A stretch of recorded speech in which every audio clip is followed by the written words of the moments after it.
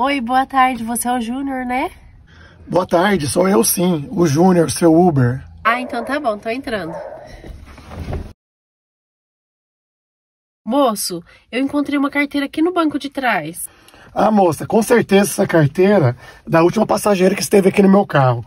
Eu vou guardar aqui. Moça, só um minutinho, meu celular tá tocando. Pode ser uma esposa, meu filho tá muito doente, preciso comprar um remédio para ele. Alô? É do Uber? Sim. É, eu esqueci minha carteira no seu carro, não esqueci? Ah, esqueci, a passageira acabou de me entregar. Eu posso te entregar no final do dia? No final do dia não, preciso dela agora.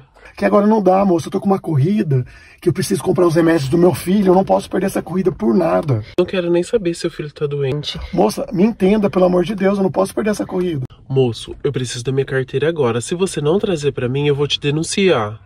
Tudo bem, moça. Ei, moço, pode cancelar a corrida, tá? Aí você resolve o teu problema certinho, não tem importância não.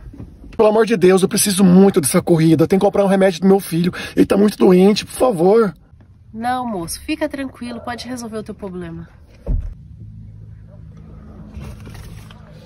Meu Deus, não acredito.